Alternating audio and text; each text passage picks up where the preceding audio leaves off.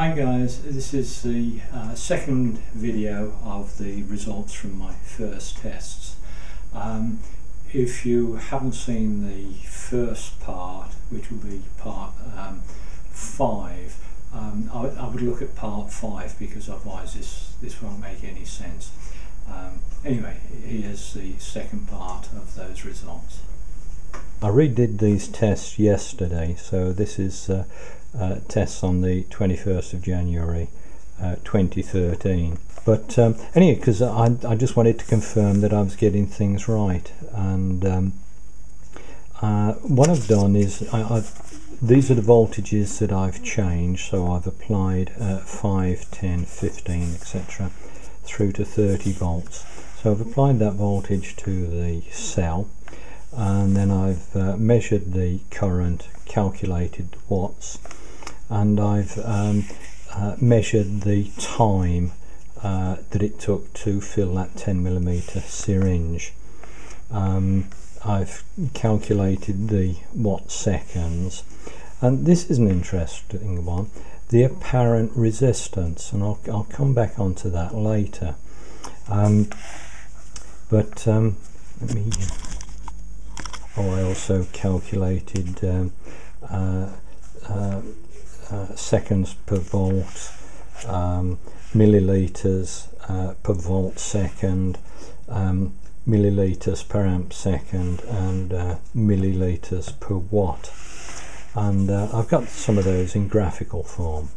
Um, what I'll do is I'll I'll um, I'll put this on the screen so as you're not having to look at my uh, my scribble. Um, so I'll type that up in a bit.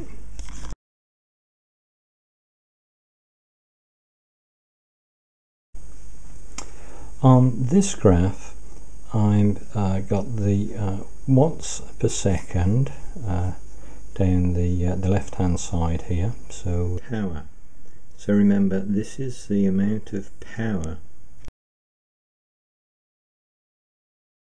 And that's uh, measured against voltage uh, at the steps 5, 10, 15 etc and that is to produce 10 milliliters of HHO.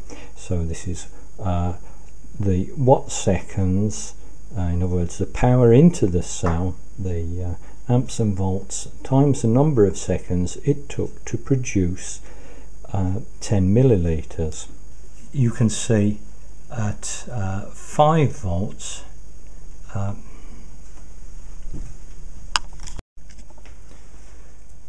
Okay, I've penciled in the numbers to uh, make it easier for me.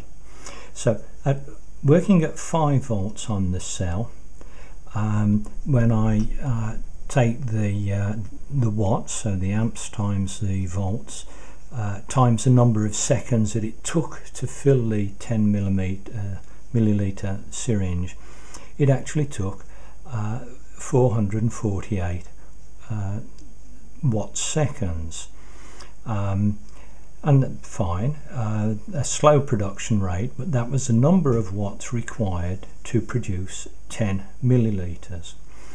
When I went to 10 volts, it took 722 watt seconds to produce exactly the same amount of gas. So remember, this is the amount of energy that I'm putting into uh, the water or into the cell in order to produce 10 milliliters. So yes, it happens quicker, but it does so at a cost, quite a significant cost in uh, efficiency. When I went to 15 volts, it took 911.4 uh, watt seconds uh, again to produce the same amount as I could produce um, uh, with 5 volts with um, you know, half the actual input power.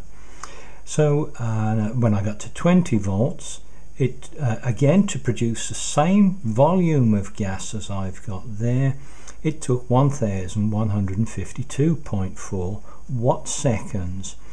So what this is saying is this is like driving your car faster.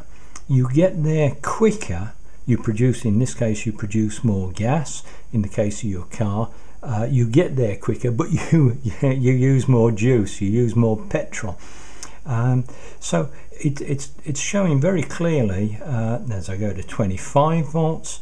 Um, it took 1,400 watt seconds to produce 10 milliliters, and then when I got up to here, when I got to uh, 30 volts, it actually took 1728 watts seconds, yeah, watts times seconds, to produce exactly the same amount of uh, gas there as I produce there. So obviously if you were going to make uh, HHO from a solar panel you really want to do it at the lowest possible voltage that you can. It'll take longer to gather the gas but you'll gather it more efficiently. Okay guys, uh, if you're still with me, thank you for your forbearance. That shows true dedication. And uh, okay, this is where I've uh, edited uh, part of this video. And um, uh, here I'm showing watts per second per milliliter. So this is the number of watts times the number of seconds to produce uh, one milliliter. And I've carried out that trial at 5, 10, 15, 20, 25 and 30 volts. Um, and then uh, uh, down the left hand side here we've got uh, watts times seconds per milliliter and we're, uh, we're running uh, from uh, 0 up to around 180. Okay, so at 5 volts it uh, took 44.8 uh, watt seconds to produce 1 milliliter. At 10 volts, uh, that increased to 72.2 uh, watt seconds per milliliter. So, what that's telling us straight away is that it takes um, more energy to produce the same amount of gas when we're working at a lower voltage. So for clarity, at 5 volts it took 44.8 watt seconds, but uh, I went to a higher voltage and it actually took more uh, watt seconds, so more power, that's uh, uh, amps times volts times seconds to, to give me uh, watt seconds. It took more power to produce the same amount of gas, the same volume as gas uh, in both cases. As we go to 15 volts, sorry, get that on camera. As we go to 15 volts, um, so it took 91.14 watt seconds.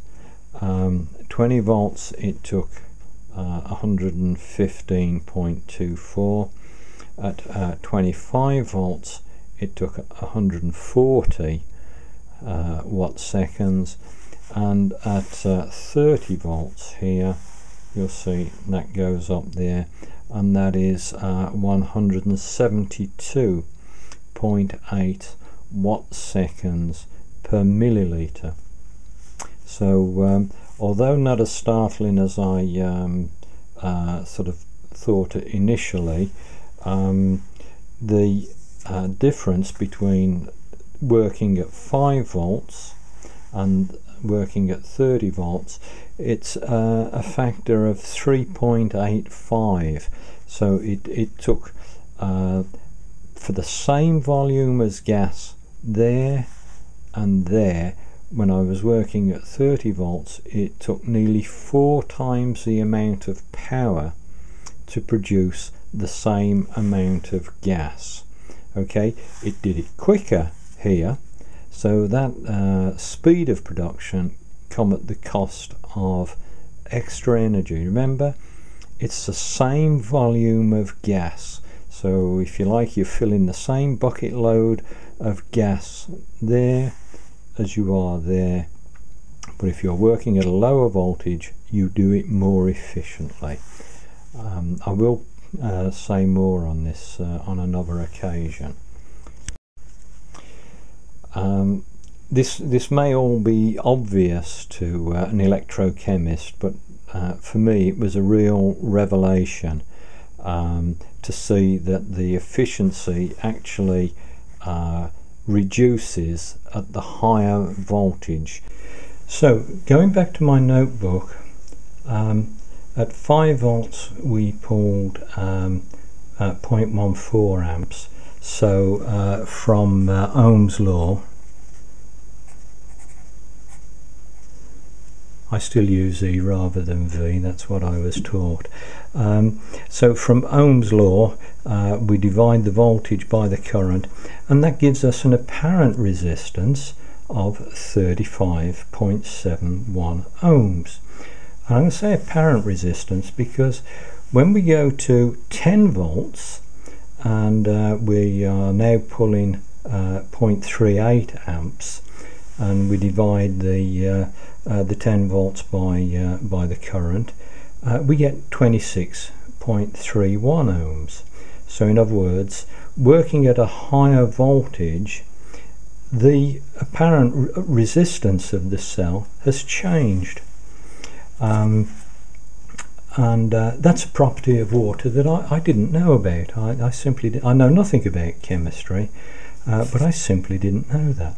Uh, at 15 volts, the cell looks like 24.19 ohms. At 20 volts, it looks like 23.25. At 25 volts, it looks like 22. 0.32 and at 30 volts it looks like 20.83 ohms. Now I honestly expected the cell to have a constant resistance.